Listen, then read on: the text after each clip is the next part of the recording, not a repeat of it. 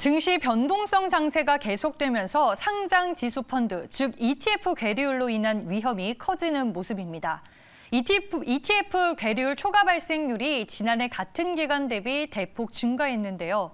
투자자들은 ETF 괴리율만큼 손실을 볼 수 있어 투자에 유의해야 한다는 목소리가 나오고 있습니다. 조문경 기자가 취재했습니다.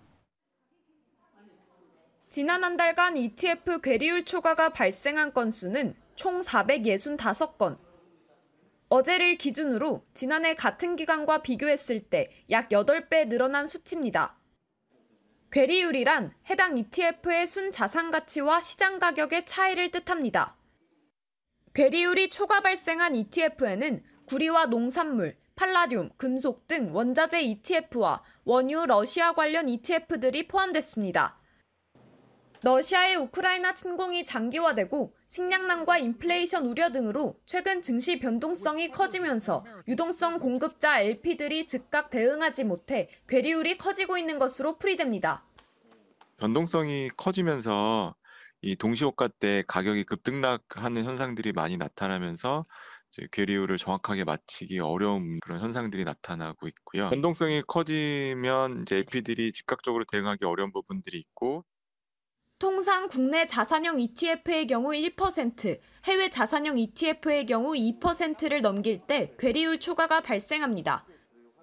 괴리율 초과가 발생하면 ETF를 운영하는 운용사는 관련 소식을 공시해야 합니다. ETF 괴리율이 커지면 향후 괴리율만큼 손실이 날 수 있어 투자에 유의해야 하기 때문입니다. HTS나 MTS를 통해서 확인이 가능하실 텐데 이 ETF의 INAV를 잘 확인하시고 어, 이 INAV 대비해서 거래 가격이 많이 왜곡되어 있을 경우에는 조금 매매를 지양을 해주시는 게 좋을 것 같고요. INAV 근처 수준에서 적정 가격대에서 매매를 하시는 것이 투자자들은 ETF 투자 시 실시간 추정 순 자산 가치 INAV를 확인한 후 거래 가격 차이가 크지 않을 때 투자해야 한다는 설명입니다. 최근 시장 변동성이 거세지는 가운데 투자자들은 ETF 투자 시 괴리율 확대 여부를 신중히 살펴볼 필요가 있어 보입니다. 매일경제TV 조문경입니다.